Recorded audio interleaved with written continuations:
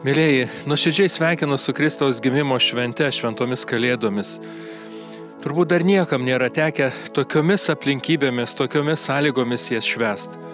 Bet gal kaip tik tai dar labiau, dar geriau mes suprantam jų prasme.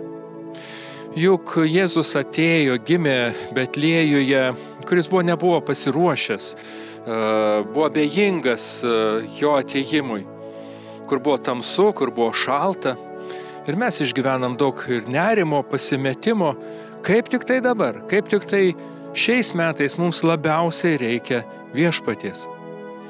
Ir antras dalykas, kuris tiesiog nudžiugina, nu, nu, apstulbina, kad e, viešpats pats ateina. Ateina į mūsų gyvenimą, mūsų šeimas, į mūsų pasaulį, toks koks yra, kad mus perkeistų, mus apšviestų. Todėl iš viso širdies linkiu džiugių švenčių nepaisant viso, visos tamsos, kuri aplinkui. Tegul viešpaties atnešta viltis išlieka mūsų širdyse. Su šventom kalėdom.